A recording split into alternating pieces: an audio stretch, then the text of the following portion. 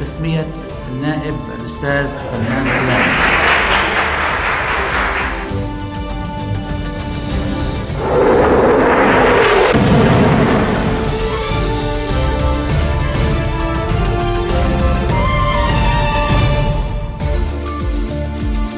الثالثة بعد الظهر بتوقيت بيروت تتابعون من الميدان من تلفزيون مستقبل وفي العناوين. سلام يستهل استشاراته بجولة بروتوكولية على رؤساء الحكومات السابقين ويؤكد على جهد جميع الفرقاء لنجاح مهمته. بري يدعو لجلسة عامة غدا وهيئة مكتب المجلس لا تتوصل إلى اتفاق حول الصيغ القانونية للتعامل مع مهل الترشيحات. انفجار عنيف يهز منطقة السبع بحرات في دمشق. والمعارك الضارية متواصلة في العاصمة وريفها ودرعا.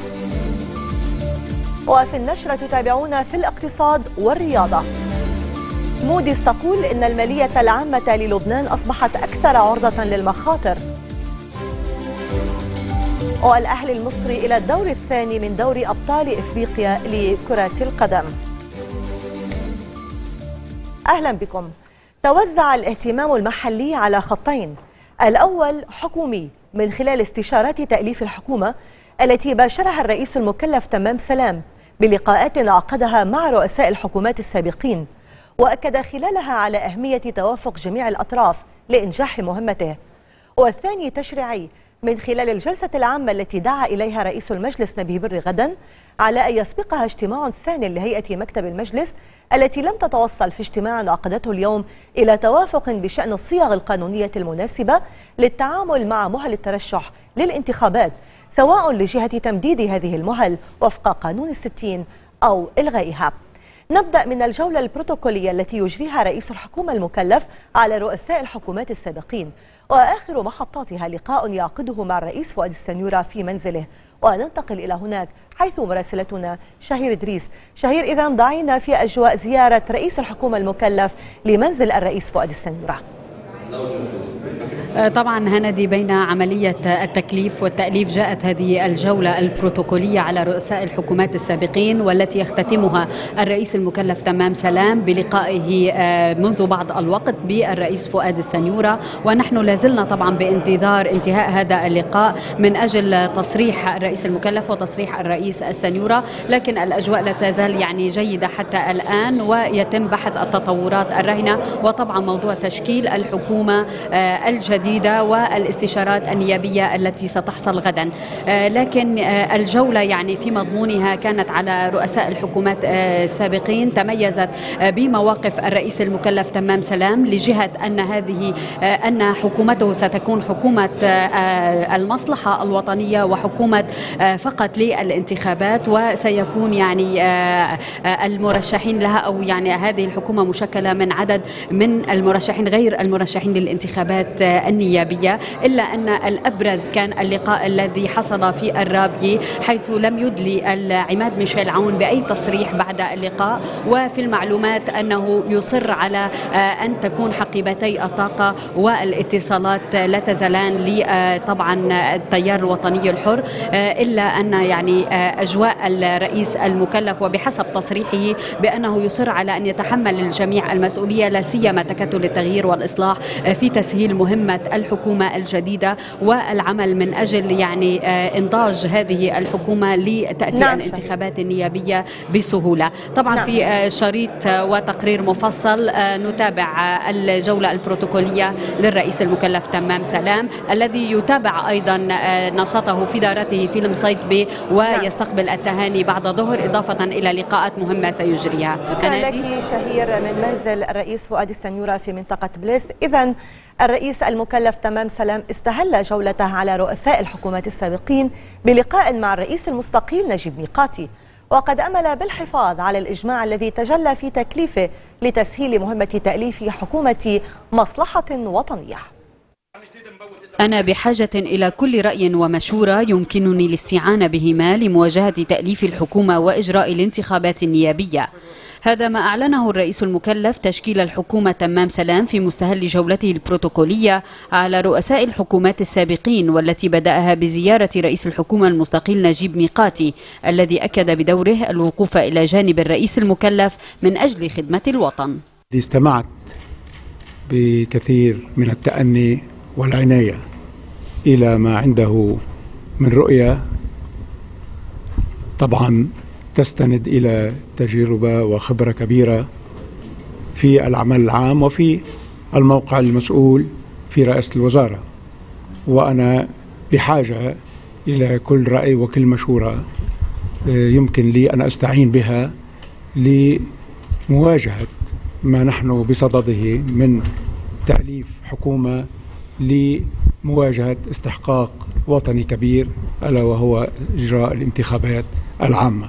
استعرضنا الفترة الماضية للحكومة استعرضنا كيف أسسنا للإستقرار في البلد والتقاطعات الدولية اللي حتمت هالواقع. وبنتمنى تدلها مستمرة وأكيد حتكون مستمرة وبأيدي أمينة مع الأخ تمام. استعرضنا كل الشؤون الإدارية الموجودة خلال كمان اللي صادفناها في خلال الحكومة الماضية. أنا بتمنى كل التوفيق للأستاذ تمام إسلام. واكدت إنه دائما نحن سوية في خدمة هذا الوطن. الرئيس المكلف زار أيضا الرئيس رشيد الصلح في منزله في عين التين وعرض معه رؤيته للحكومة المقبلة، ثم انتقل بعد ذلك إلى منزل الرئيس سليم الحص وبحث معه التطورات الراهنة، وأكد أنه سيتفائل بتسهيل مهمته لتشكيل الحكومة طالما مصلحة اللبنانيين والمصلحة الوطنية التي أطلقها كعنوان للحكومة الجديدة ستكون نصب عينيه. الرئيس الحص أكد في بيان عقب اللقاء أنه هنأ الرئيس المكلف بتكليفه وتمنى له النجاح في مهمته آملا تسهيلها من قبل جميع الأفرقاء وأن تبصر النور في وقت قريب من أجل القيام بمهامها لجهة إجراء الانتخابات وفق قانون عادل يلبي طموحات اللبنانيين. الزيارة البروتوكولية الرابعة كانت إلى الرابية حيث التقى النائب ميشيل عون وتناول البحث تأليف الحكومة. سلام أكد من الرابية أنه حريص على سماع جميع الأطراف الذين أجمعوا على تكليفه مشيرا إلى أن عليهم جميعا تحمل المسؤولية إلى جانبه. انطلاقا واستنادا إلى الإجماع الذي حصل في التكليف. طمعت وتمنيت من الرئيس عون أن نحافظ على ذلك الإجماع في مرحلة التأليف لأن المهمة أمامنا هي مهمة وطنية كبيرة في إجراء الاستحقاق الانتخابي. وأعلنت في عدة مناسبات أن حكومة المصلحة الوطنية هي حكومة لها وظيفة. الوظيفة هي تسليم الأمانة بعد إجراء الانتخابات بشفافية. الرئيس المكلف زار أيضا الرئيس عمر كرامي واستمع منه إلى تصوره للمرحلة المقبلة. كنا من أسعد الناس بتسليمه الأمانة في هذه الظروف الصعبة والدقيقة التي يمر بها لبنان. نحن واثقون بأن دولة الرئيس سيقوم بكل إمكانياته لتحقيق الاستقرار بلبنان ولمعالجة موضوع الانتخابات. وفي موازاة انطلاق مساعي تأليف الحكومة دعا رئيس مجلس النواب نبيه بري إلى جلسة عامة عند العاشرة والنصف من صباح الغد للتصويت على صيغة للتعامل مع المهل القانونية للترشح للانتخابات. جاء ذلك تزامنا مع انعقاد هيئة مكتب المجلس في عين التيني. وقد أعلن في ختامه نائب رئيس المجلس فريد مكاري أن الهيئة ستعقد اجتماعا آخر قبل الهيئة العامة لإقرار الصيغة القانونية. تقرير مها حطيت بالرغم من الأجواء التوافقية التي دخل بها أعضاء هيئة المكتب إلى الاجتماع مع رئيس مجلس النواب نبيه بري إلا أن اتفاقا لم يتم حول الصيغة القانونية التي يتم بموجبها تعديل مهلة الترشيحات. وبحسب النواب فإن الصيغتان طرحتا. الأولى تعليق مهل الترشيح وهو اقتراح يؤيده رئيس مجلس النواب نبيه بري. أما الصيغة الثانية فهي تمديد مهلة الترشيح لفترة زمنية لا تتعدى العشرين من حزيران وهي صيغة يوافق عليها المستقبل. وبعد حوالي الساعة والنصف من الاجتماع أعلن نائب رئيس المجلس فريد مكاري أنهم بحاجة لمزيد من الوقت لدراسة الصيغ القانونية. كان لنا اجتماع مطول لمكتب المجلس برئاسة دولة الرئيس نبيه بري للتداول بموضوع المهل من أجل الترشح لقانون الانتخابات. آه، درسنا عدة صياغ آه، متعددة آه، لكل صيغة منها حسناتها وسيئاتها ومفاعيلها. لذلك ارتأينا أن نجتمع مرة أخرى قبل انعقاد الجلسة يوم غد من أجل اتفاق على الصيغة النهائية بعد دراستها من النواحي القانونية. ما أننا بعاد عن بعضنا بس في نقط قانونية بالموضوع يجب أن تبحث لأنه الموضوع دقيق وسنصل بإذن الله إلى صيغة في نفس جديد بالبلد آه، كلنا إن شاء الله بنواكبه وبنوصل إلى خواتم سعيدة بكل المواضيع. وبحسب النواب فإنه وبعد اجتماع هيئة المكتب سيتم إحالة الاقتراح المعجل المقرر إلى الهيئة العامة مباشرة كي يتم التصويت عليه. التطورات المتعلقة بقانون الانتخابات في ضوء صدور مرسوم تأجيل دعوة الهيئات الناخبة. عرضها رئيس الجمهورية ميشيل سليمان في بعبدة مع وزير الداخلية مروان شربل. سليمان التقى أيضا وفدا يضم نوابا وشخصيات مسيحية أبدت دعمها للمواقف التي يتخذها من زاوية التمسك بالدستور والإصرار على إجراء الانتخابات النيابية وفق قانون جديد عصري وشامل التمثيل. أمل البطريرك الماروني الكاردينال مار بشارة بطرس الراعي بتشكيل الحكومة بسرعة لإقرار قانون جديد للانتخابات مؤكدا أن الرئيس سليمان لا يستطيع أن يلغي قانون الستين قبل أن يكون هناك قانون آخر. قبيل مغادرته لبنان زار البطريرك الماروني الكاردينال مار بشارة بطرس الراعي قصر بعبدة والتقى رئيس الجمهورية ميشيل سليمان وتم عرض للأوضاع الراهنة ولعدد من الملفات التي يتشاوران في شأنها باستمرار. ومن مطار رفيق الحريري الدولي أكد البطريرك الماروني أن الرئيس سليمان لا يستطيع أن يقول أن قانون الستين ألغي قبل أن يكون هناك قانون آخر ورأى أنه سيحصل تمديد للمهل كي تسنح الفرصة ليكون هناك قانون جديد. طبعا نحن مستعدين أكان جنرال عون وأكان دولة الرئيس سنيرة دولة الرئيسين طبعا. نحن لا كلهم اليوم صاروا مجمعين. بالنسبة لهم الانتخاب يكون آه، المختلط. ثانيا كلهم مجموعين إنه تتألف الحكومة بسرعة وحكومة تكون فعلا يرضوا عنها كل اللبنانيين وافرقاء ويحسوا اللبنانيين كلهم إنه موجودين وممثلين ويرضوا عليها لأنه تقدر تقوم بالظروف الصعبة اللي هي قدامها. وكلهم حاطين أولويتها إنه تنشئ تتمم الانتخابات النيابية بوقتها بقانون جديد وتعالج القضايا اللي هي مطروحة على الساحة اللبنانية. هذا فيني أكدها لكل اللبنانيين هذا سمعناه كان من الجنرال عون أو من دولة الرئيس سنيور عشير البطريرك الماروني تمنى للرئيس تمام سلام التوفيق معتبرا أن تكليفه بهذه السرعة تعزية كبيرة لرئيس الجمهورية. كما أمل بتشكيل الحكومة بسرعة لإقرار قانون جديد للانتخابات. وعن زيارته فرنسا قال الراعي هناك رغبة من قبل الرئيس الفرنسي فرانسوا أولاند بأن يحصل لقاء بيننا وأضاف عندما أعود إلى لبنان ستكون الحكومة قد تشكلت وقانون الانتخابات الجديد قد أقر. اعتبر النائب مروان حميدي أن الحكومة الجديدة ستكون حكومة الأمر الواقع اللبناني. كلام حميدي ورد في حديث لبرنامج كلام بيروت. حزب الله كمان قارئ جيد.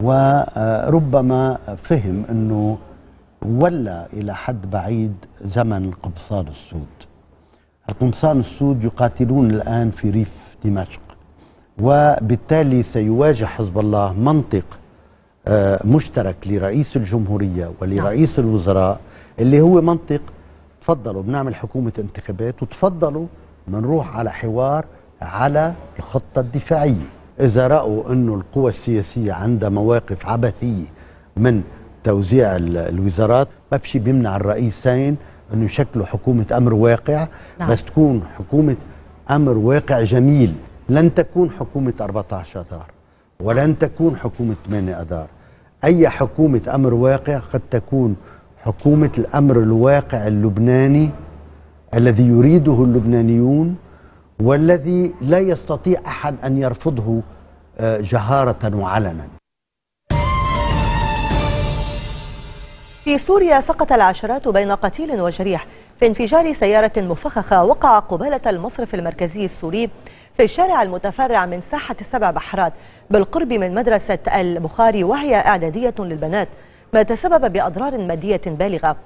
المجلس العسكري في دمشق وريفها اتهم النظام بالوقوف وراء التفجير باعتبار أن المنطقة أمنية بامتياز ويتواجد فيها ستة حواجز للنظام مزودة بكواشف للمتفجرات. في المقابل استمرت المعارك العنيفة بين الجيش الحر وكتائب الأسد التي أمطرت أحياء دمشق بالصواريخ في وقت تتعرض الأحياء السكنية في حمص ودرعا لقصف بالمدفعية الثقيلة.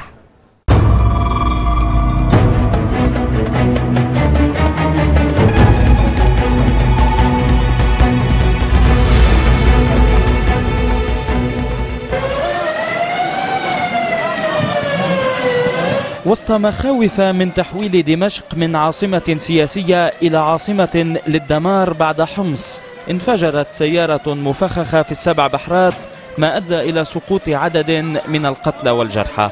وكالة سانا السورية قالت إن الانفجار وقع بين ساحة السبع بحرات ومنطقة الشهبندر ما أسفر عن وقوع ضحايا وأضرار مادية كبيرة. وذكرت معلومات أن الانفجار وقع بالقرب من وزارة المالية وقبالة البنك المركزي. في هذا الوقت لم تتردد كتائب الأسد بإلقاء القنابل السامة وصواريخ أرض أرض على الأحياء الجنوبية للعاصمة والقابون والعسالي ومحيط مخيم اليرموك فيما دارت اشتباكات في حي جوبر وحي تشرين واستهدف الجيش الحر بقذائف الهاون فرع الاستخبارات الجوية في ساحة العباسيين. المواجهات امتدت إلى أجزاء كبيرة من درعا وسيطر الثوار على الطريق الرئيسي بين درعا ودمشق فيما تعرضت بلدات سيل واللجات وطريق السد والطيبة لقصف عشوائي. مطار المزة العسكري تحول إلى منصة لإطلاق الصواريخ على الريف الدمشقي وتركز القصف على معظمية الشام والذيابية والغوطة الشرقية وعربين والمليحة والزبداني والنبك ودارية ودارت معارك على أكثر من محور. حمص عاصمة الثورة المحاصرة منذ أكثر من 300 يوم. شهدت قصفا عشوائيا على أحياء الخالدية والقصير والرستن والغنطو والحولة بعشرات الصواريخ. واندلعت اشتباكات في أطراف الخالدية وآبل. وفيما أغار الطيران الحربي على أحياء الحميدية والشيخ ياسين وعلى معظم أحياء دير الزور توجهت فوهات المدافع إلى إدلب. تعرضت أحياء جبل الزاوية والجنودية وحيش لقصف مركز. أما حلب وريفها فشهدت أعنف القصف حيث تعرضت أحياء السكر والفردوس والسفيرة لاستهدافات عشوائية. في وقت سقطت البراميل المتفجرة على جبل التركمان في اللاذقية. وللمزيد ميدانيا ينضم إلينا عبر الهاتف الناطق الإعلامي لمجلس قيادة الثورة في ريف دمشق عمر حمزة. سيد عمر أهلا بك معنا. ضعنا في آخر التطورات الميدانية وماذا عن ملابسات ونتائج الانفجار الذي حصل بالقرب من منطقة السبع بحرات؟ السلام عليكم ورحمة الله وبركاته. يعني كما ذكرتم في التقرير عن هذه السيارة المفخخة بين السبع بحرات وطلعة الشهبندر قريبة من البنك المركزي ومجلس الوزراء القديم. الأنباء التي أفادت ب 12 من الضحايا وحوالي 45 إصابة وأضرار قرب البنك المركزي وتصاعد لأعمدة الدخان الكثيف وتطويق أمني كثيف لهذه المنطقة مما حال دون معرفة المزيد من التفاصيل سوى ما يذكره إعلام هذه العصابة. لكن هناك مشهد آخر في الغوطة الشرقية من القصف والاشتباكات العنيفة في العتيبة والعبادة والقيسة. آه، جبهة العتيبة هي اليوم الثالث والعشرين تحت محاولات اقتحام لعصابة الأسد وحتى إعلامها صار يسبق الحدث يتحدث عن أنه اقتحم وسيطر على الغوطة الشرقية لكن ما يجري هو تكبير لعصابة الأسد لخسائر كبيرة على هذه الجبهة رغم سقوط عشرات الصواريخ والقذائف التي تسقط يوميا على العتيبة والعبادة والقيسة طالت فيها المساجد والمدارس والبيوت والبنية التحتية بشكل كامل لكن هناك تصدي للجيش الحر لمحاولات الاقتحام أيضا القيسة المجاورة القصف عليها مستمر بالراجمات وقذائف الهاون والمدفعية الثقيلة نعم. من مطار دمشق الدولي ومن كتيبة تل حمار كذلك الحال في المليحة نعم. يستمر حصار حاجز تميكو من قبل أبطال الجيش الحر وتستهدف التعزيزات في دير عطية في القلمون اليوم سقطت قذائف وخلفت خمس جرحى. صاروخ سكود انطلق نعم. حوالي الساعة الواحدة إلى ثلث بتوقيت دمشق. القصف مستمر على زملكة و... شكرا لك عمر حمزة الناطق الإعلامي لمجلس قيادة الثورة في ريف دمشق. وفي المواقف أكد الأمين العام للأمم المتحدة بان كيمون أنه يجب التحقيق في المزاعم الجدية حول استخدام الأسلحة الكيماوية في سوريا لافتا إلى وجود فريق تفتيش عن الأسلحة الكيماوية في قبرص جاهز للتوجه إلى سوريا. يجب بحث ودراسة كل المزاعم الجادة حول استخدام الأسلحة الكيماوية في سوريا. هذا ما أكده الأمين العام للأمم المتحدة بان كيمون إثر لقائه رئيس منظمة منع انتشار الأسلحة الكيماوية في لاهاي. بان كيمون الذي أكد أن ما قيل عن استخدام أسلحة كيماوية يبقى ادعاءات حتى انتهاء التحقيق حذر كذلك من أن استخدام هذا النوع من الأسلحة من جانب أي طرف وتحت أي ظروف يمثل جريمة شنعاء لها عواقب وخيمة ويمثل جريمة ضد الإنسانية. وفيما كشف الأمين العام عن وجود فريق تفتيش عن الأسلحة الكيماوية في سوريا جاهز في قبرص تحدث في المقابل عن مشاكل قانونية سورية تمنع توجه مثل هذه الفرق الدولية إلى سوريا. بالتزامن أكد الرئيس الروسي فلاديمير بوتين خلال لقائه المستشارة الألمانية أنجيلا ميركل على ضرورة وقف إمداد السلاح إلى سوريا من كل الجهات مشيرا إلى استعداد بلاده للاجتماع مع جميع الأطراف لبحث كيفية الخروج من هذه المجزرة الدموية. بدورها دعت ميركل إلى العمل من أجل حل سياسي للقضية السورية. وفي إطار سعيه لتأليف الحكومة الانتقالية يزور رئيسها غسان هيتو ريف إدلب في شمال سوريا وفق ما أعلن الائتلاف الوطني لقوى الثورة والمعارضة السورية ويأتي ذلك بعد ساعات على اجتماع عقده كبار المسؤولين في عدد من الدول الداعمة للائتلاف الوطني في الخارجية المصرية حيث تم استعراض الوضع في سوريا لا سيما فيما يتعلق بسبل زيادة أشكال الدعم المقدم للمعارضة. أشار التقرير الأسبوعي الذي تصدره مفوضية الأمم المتحدة لشؤون اللاجئين أن عدد النازحين السوريين في لبنان قد تجاوز ال 400 ألف نازح حتى الآن. النازحون السوريون في لبنان 400 ألف على الأقل. هذا ما أعلنته مفوضية الأمم المتحدة لشؤون اللاجئين في تقريرها الأسبوعي الذي أشارت فيه إلى تسجيل نحو 12 ألفا الأسبوع الماضي وحده. ويتوزع اللاجئون السوريون كالآتي 113 ألفا في شمال لبنان و99 ألفا في البقاع و28 ألفا في بيروت وجنوب لبنان. وأوضح التقرير أن المفوضية سجل 48 ألف لاجئ سوري خلال شهر آذار الماضي يتلقون حاليا الحماية والمساعدة من الأمم المتحدة ومنظمات غير حكومية فضلا عن الحكومة اللبنانية. كما تم تقييم احتياجاتهم الفورية في إيجاد المأوى المناسب والرعاية للأشخاص الذين يحتاجون إلى الانتقال بخاصة الأطفال المنفصلين عن ذويهم. وأشار التقرير إلى أن من بين اللاجئين هناك أكثر من 150 ألفا مسجلين لدى المفوضية ونحو 145 ألفا من المقرر تسجيلهم في أقرب وقت. ولفت التقرير إلى أن عدد اللاجئين السوريين الموجودين في كل من الأردن وتركيا والعراق ومصر ولبنان بلغ المليون في بداية آذار الماضي فيما وصل عددهم بحلول نهاية الشهر نفسه إلى مليون ومئتي ألف بزيادة عشرين في المئة. وفي نشرتنا بعد الفاصل. احتجاج في عكار على ضم عرقة لمنيارة.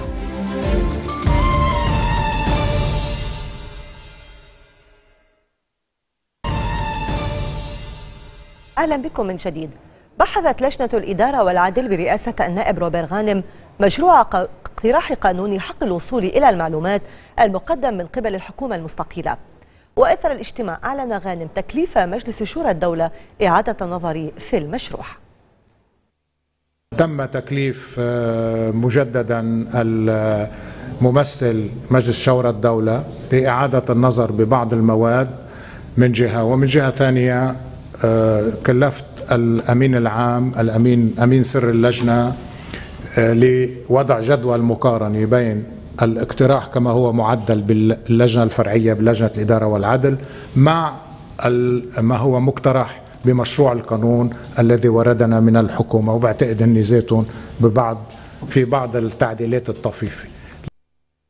امنيا وفي إطار تحركاتهم الاحتجاجية على استمرار خطف أبنائهم منع أهالي المخطوفين اللبنانيين في أعزاز العمال السوريين من التوجه إلى عملهم في منطقة تيرو في شويفات التقى وفد من أهالي عرسال وزير الداخلية في حكومة تصريف الأعمال مروان شربل.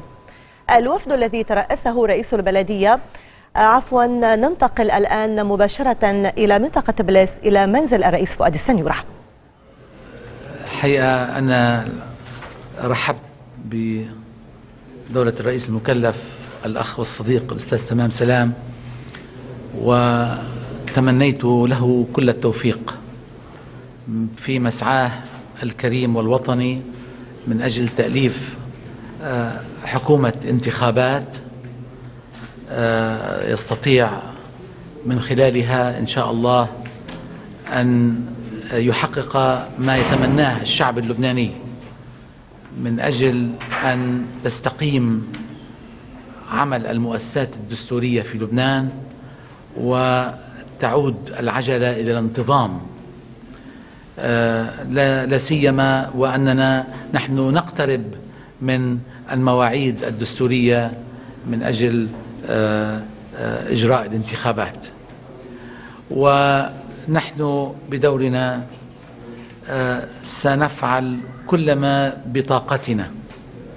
من أجل أن يسعى من أجل أن ينجح الرئيس المكلف في مسعاه لإنجاز عملية تأليف الحكومة التي آه، نتمنى إن شاء الله أن تكون على قدر طموحات وتمنيات اللبنانيين آه، لتحقيق عدة أهداف من تخفيض مستوى التوتر في البلاد وأن تعبر إلى المرحلة الجديدة إن شاء الله آه، بإنجاز هذه الانتخابات التي آه، نسعى جميعا من أجلها. فمرة ثانية آه، أود أن أوجه بالدعاء ومشفوعا بكل ال ال الإرادة من أجل تقديم كل الدعم اللازم للأستاذ تمام سلام لينجح في مهامه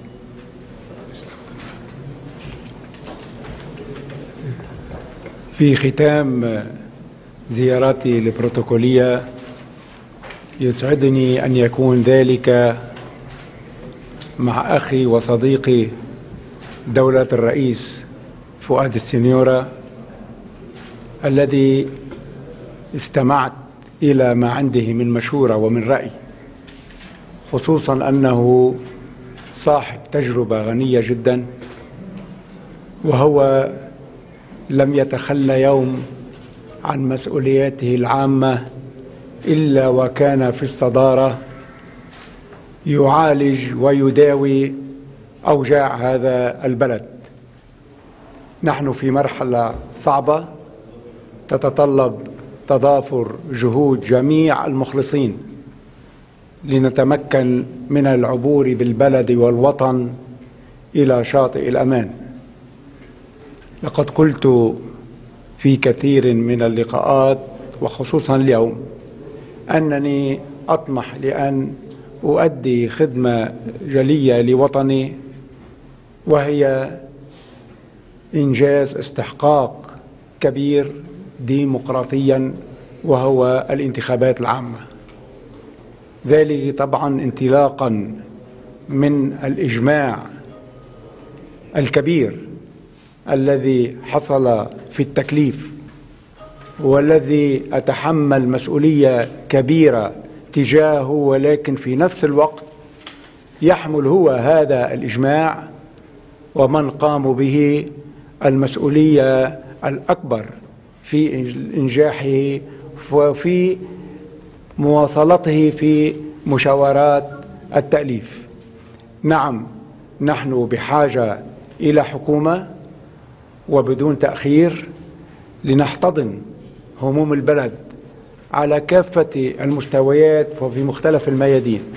ولكن يبقى موضوع إنجاز الاستحقاق الانتخابي هو الهاجس الأكبر وغدا سيكون لي المواصلة مع كل القوى السياسية في مشاورات التأليف. وأثمن جدا دعم كل من يؤازر هذا المنحى وهذا التوجه واليوم استمعت إلى كلام آه، آه، أحتاج إليه في هذه المرحلة من صديق كان له ليس فقط في التكليف ولكن طوال الوقت الرأي والمشورة والنصيحة المخلصة والتي أعتز بها وأتمسك بها.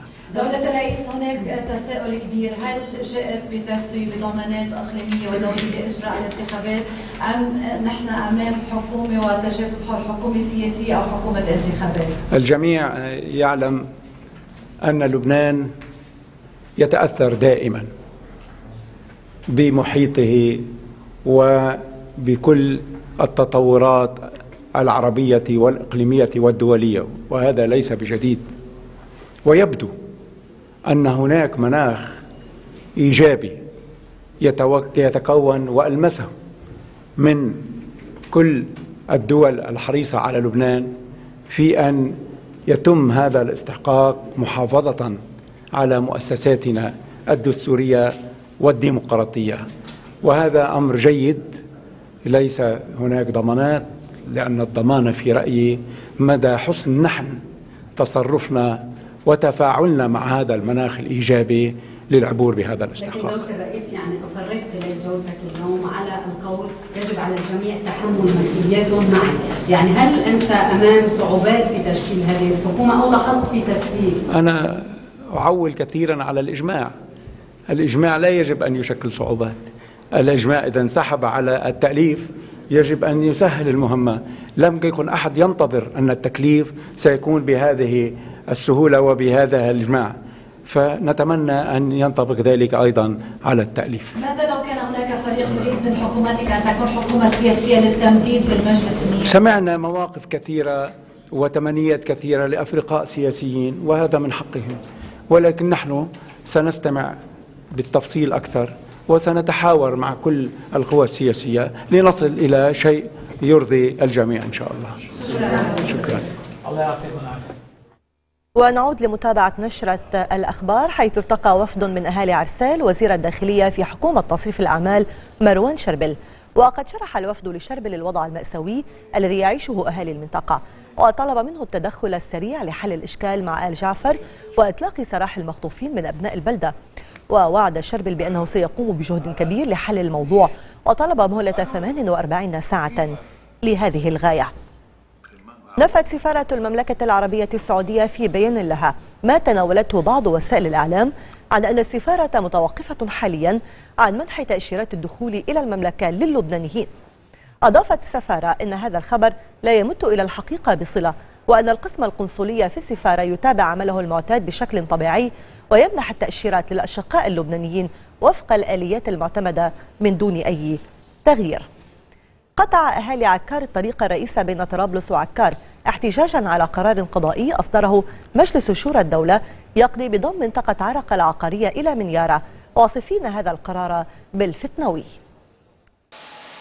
احتجاجا على قرار قضائي صادر عن مجلس شورى الدولة بضم منطقة عرق العقارية إلى بلدة منيارة نفذ عدد من رؤساء بلديات عكار وأهالي عرق اعتصاما رفضا للقرار عمدوا خلاله إلى نصب خيمة وسط الطريق بين مفترق عرق ومنيارة قاطعين الطريق الرئيسية بين طرابلس وعكار. وراء ذلك مرجعيات سياسية معروفة سنحملها كل نتائج هذا القرار العنصري الطائفي البغيض. ماذا لو تم أخذ قرار بضم نصف بلدة منيارة؟ أو غيرها إلى قرية جارة مسلمة. ألا يعتبر هذا من من الإضرار بالوحدة الوطنية والعيش المشترك والسلم الأهلي؟ نحن بنحب ينتهي هذا الخلاف كما هي عقار. عقار كانت وستبقى رمزا للعيش المشترك. وليس خلاف لا بين مسلمي عرقة ولا بين مسيحيي منيارة ولا بين تيارات سياسية مختلفة إنما خلاف عقاري. وهذا الخلاف العقاري سيؤدي إلى ما لا تحمد عقباه. يشار إلى أن مسؤول مخابرات الجيش اللبناني في الشمال العميد عامر الحسن قام بجولات بين الطرفين لتهدئة الوضع على الأرض ومنع تفاقمه بتكليف من قائد الجيش فيما لوحظ انتشار واسع للجيش في المنطقة. وبعد ساعة من الاعتصام تم فتح الطريق على أن يستمر التحرك في خيمة بجانب الطريق العام بين المنطقتين. وتتابعونا بعد الفاصل. الحذر يسود محيط الكاتدرائية المرقسية في القاهرة وسط انتشار أمني.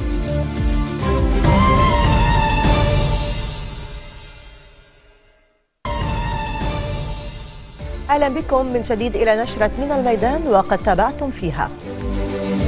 سلام يستهل استشاراته بجولة بروتوكولية على رؤساء الحكومات السابقين ويؤكد على جهد جميع الفرقاء لنجاح مهمته. بري يدعو لجلسة عامة غدا وهيئة مكتب المجلس لا تتوصل إلى اتفاق حول الصيغ القانونية للتعامل مع مهل الترشيحات. انفجار عنيف يهز منطقة السبع بحرات في دمشق والمعارك الضارية متواصلة في العاصمة وريفها ودرعا. إلى مصر حيث تجددت المواجهات في محيط الكاتدرائية المرقسية وسط العاصمة المصرية القاهرة قبل أن يعود الهدوء وسط انتشار أمني كثيف بعد يوم من الاشتباكات التي أدت إلى سقوط قاتلين وجرح العشرات.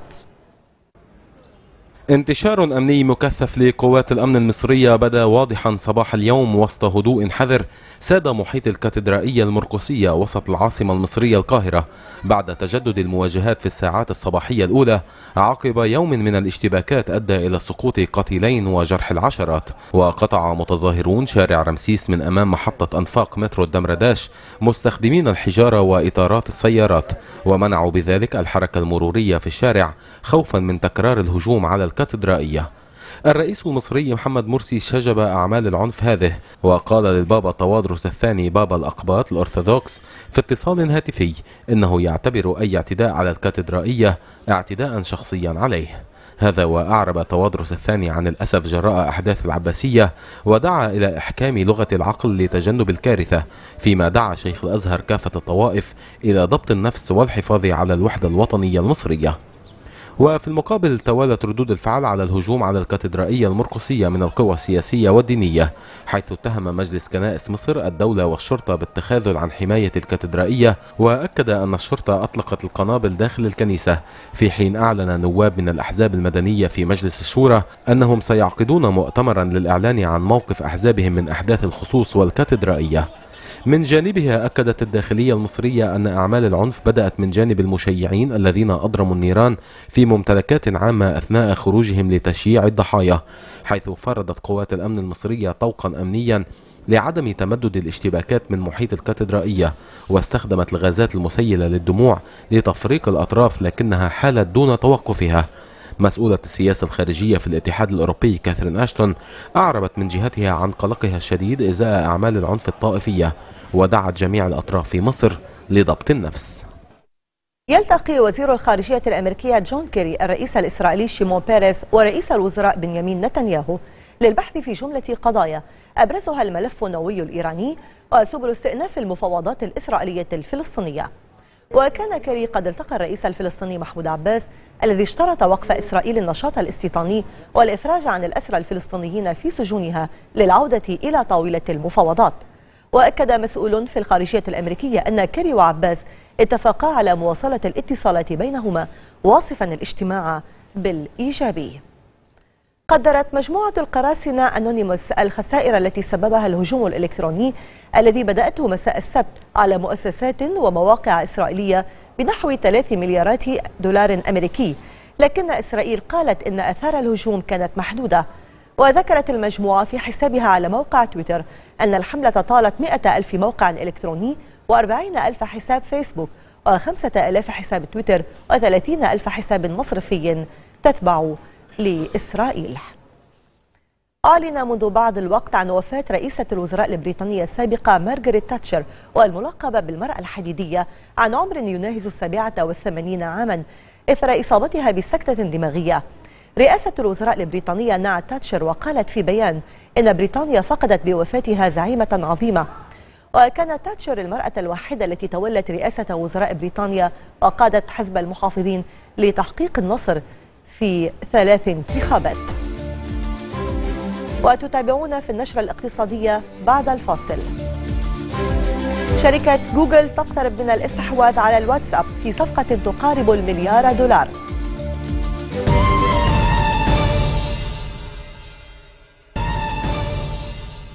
باسل الخطيب انضم إلينا ليقدم لنا آخر الأخبار الاقتصادية. مرحبا. أهلا هنادي. تفضل بس. شكرا. أهلا بكم. رأت وكالة موديز للتصنيف الائتماني أن لبنان الذي تخطى عدة صدمات سياسية في الماضي أصبح اقتصاده وماليته العامة أكثر قابلية للتعرض للمخاطر حاليا مشيرة إلى أن الصراع في سوريا أضعف أداء لبنان الاقتصادي وماليته العامة وقوض النمو الاقتصادي مما أثر سلبا في العائدات السياحية والاستهلاك المحلي والتدفقات الاستثمارية. ولفتت موديز إلى أن النمو الاقتصادي المتباطئ والمشاحنات السياسية داخل الحكومة السابقة عوامل أوقفت محاولات إصلاح الموازنة العامة. وقدرت الوكالة اتساع عجز الموازنة العامة ب 9.4% من الناتج المحلي الإجمالي في العام 2012 مقارنة ب 6.1% من الناتج الإجمالي في العام 2011 وأوضحت أن ارتفاع العجز يعود بشكل جزئي إلى جمود الإيرادات الضريبية.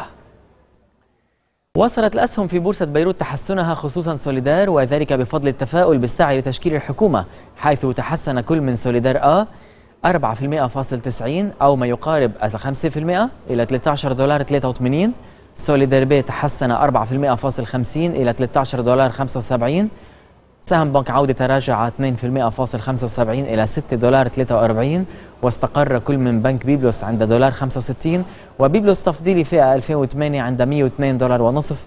أما بيبلوس تفضيلي فئة 2009 فتراجع 2% إلى 102 دولار فاصل 90 اليورو سجل دولار 30 أما الذهب فبلغت الأونصة 1578 دولار والفضة 27 دولار 34 في حين ارتفع خام برنت إلى 105 دولار 17 للبرميل في الوقت الذي عززت فيه خطط تحفيز الاقتصاد الياباني الأسواق المالية. لكن النفط ظل قرب أدنى مستوى له في ثمانية أشهر بسبب مخاوف متعلقة بالنمو الاقتصادي العالمي والطلب على الوقود. تعتزم شركة إيرباص الأوروبية غزو أراضي منافستها الأمريكية بوينغ بإنشاء أول مصنع لها في ولاية ألاباما الأمريكية. وتأتي الخطوة للحصول على حصة أكبر من سوق الطيران الأمريكية في الوقت الذي تكافح فيه بوينغ بسبب عيوب في البطارية بطائرتها الجديدة دريم لاينر التي تم وقف تشغيلها مؤخرا. ومن المقرر أن يبدأ المصنع البالغ كلفته 600 مليون دولار في إنتاج الطائرات إيرباص من طراز A320 بحلول العام 2015 ويخطط المصنع لإنتاج ما بين 40 و50 طائرة سنويا وسيعمل فيه ألف شخص عندما يعمل بكامل طاقته. كشفت تقارير أخبارية عن اقتراب شركة جوجل من الاستحواذ على تطبيق المراسلة الفورية الشهير واتساب بعد مفاوضات امتدت لأكثر من شهر.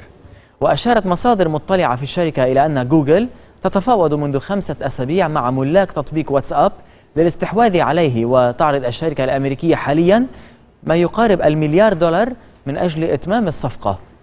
ويعد تطبيق واتساب واحدا من أشهر تطبيقات التراسل الفوري حيث تشير آخر الإحصائيات حول التطبيق إلى أنه يعمل في 100 دولة حول العالم وعلى 750 شبكة اتصالات مختلفة.